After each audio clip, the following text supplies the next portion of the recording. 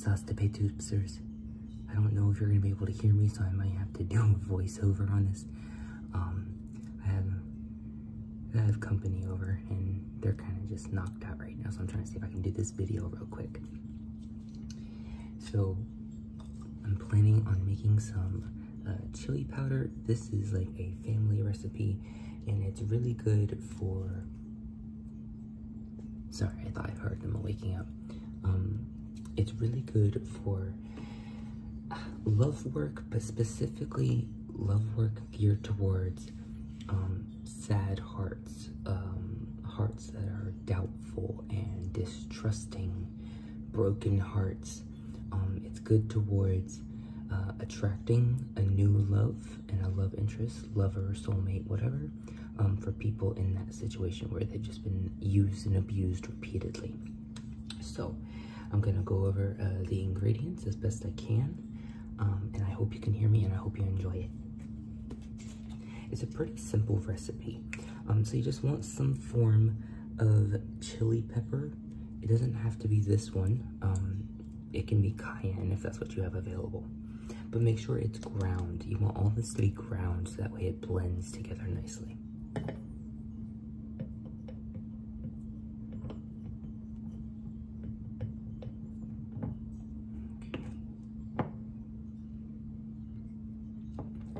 And uh, my family's recipe is heavy on the, the paprika. Um, that's regular sweet paprika. Um, and then chili pepper and garlic. That's what we go heavy on. Feel free to go heavy on whatever you wish.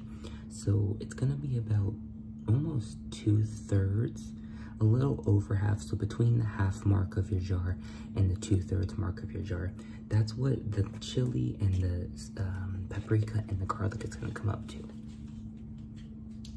Forgot to mention, chili pepper is good for bringing um, a passionate, lustful, um, seductive desire into the relationship to make it really fun and spicy.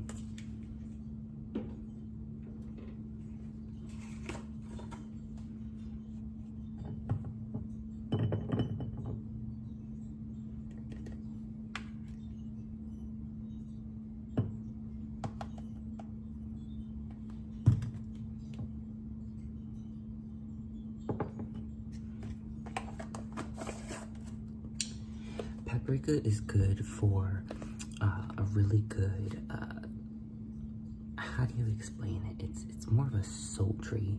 I, I misspoke with the last one. Chili's good for bringing spice um, and lust into the relationship. This one's more for seductiveness, especially if you use smoked paprika. Something about that smokiness of the paprika really boosts up that seductive nature. It's a little different than lust. Um, but paprika is really good for just general love work, um, but also just a good, sweet, wholesome love. Um, and if you use the smoked, it's good for seduction.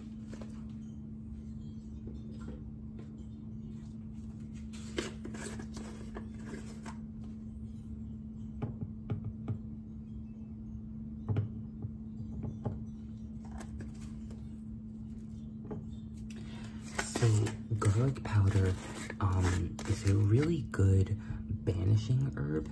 It's good for, to put it in modern terms, it's good for banishing uh, thought girls and fuckboys. So anyone that's like not serious in a relationship, at least this is the properties that we use these spices and herbs for, um, as well as exorcism, which is a different work, different type of people, different entities.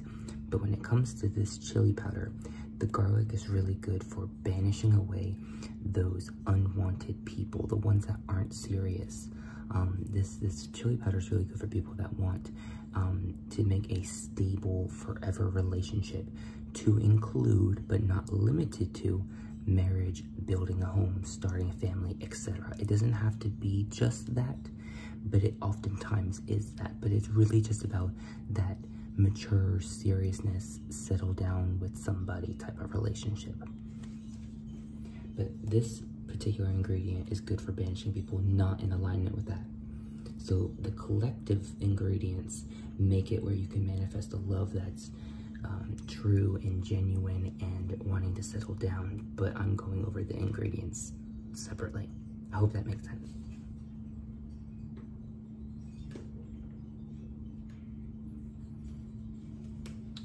So this is ground cumin. Ground cumin is really good for protecting the heart. Um, and again, it has that uh, marital, um, domestic uh, energy and, and, and power behind it. So it's, again, bringing forth people that are about seriousness, about stability, um, and that are going to comfort your heart, soul, and mind and body.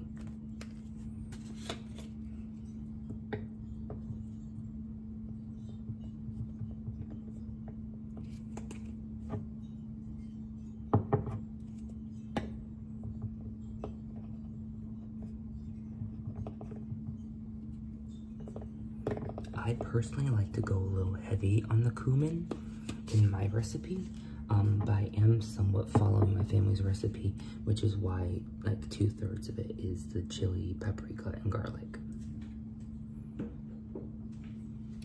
We're also going to be adding uh, mayoranca or marjoram.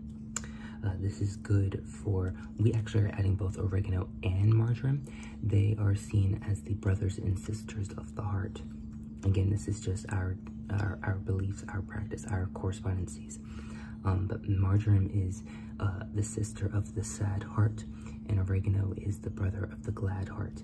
Um, so you use this when you're dealing with grief, um, depression, um, heartbrokenness, uh, distrust, anything that's like upsetting of the heart, marjoram is really good for, which is why we add it in here. So that way all those displeasant parts you're dealing with internally are getting cared for while you're bringing in a new love at the same time.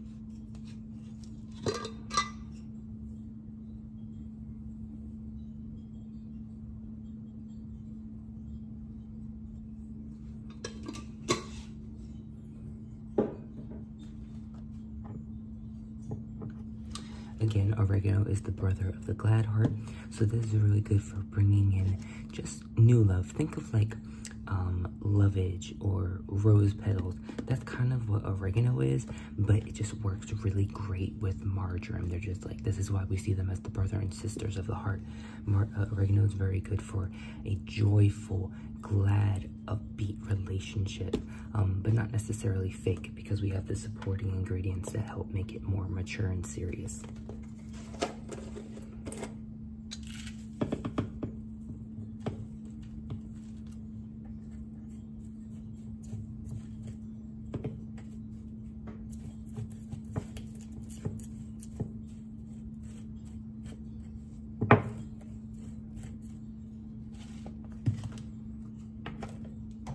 I'm gonna just give this a little shake. And as I'm shaking it, I'm gonna enchant it and then I'll come back and show you um, what it looks like. I did forget to mention that there's also salt added to this ingredient or to this mix. Um, you can use any salt. Right now I'm using fine, coarse uh, Himalayan salt. Um, not for any particular reason, it's just the salt I have on hand. Um, salt is used for uh, purification. That's really what we're using it for, for that healing and purification nature. Um, though, because of it being Himalayan salt, a lot of people also see this as being connected towards love work. So you can feel free to use that as well. All right, I'm gonna do a final mix and then show you what it looks like.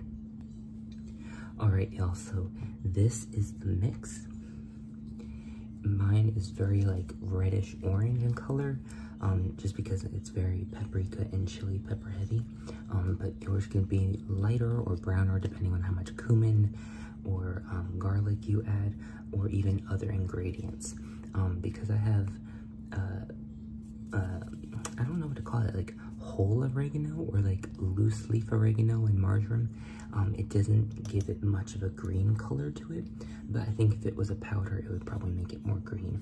Um, and then we all know that red and brown or red and green make a more of a brown color, so it would probably make it more of a brown color. Um, but this is what I got, and it smells really, really good. It definitely smells like chili. It smells like the, the chili with all that ground meat and the beans in it, and you got your little onions and all the good yumminess in it. Put that on some rice, and, and you can serve that on your uh, as a dish for your potential love. And you don't have to worry about all the nasty, well, let me not say nasty, but some people might get squeamish or feel it's nasty to use the blood spaghetti method. So this is a much, um, we'll just call it cleaner version. So I hope you enjoyed it. I hope you heard me. And as always, abundant internal blessings.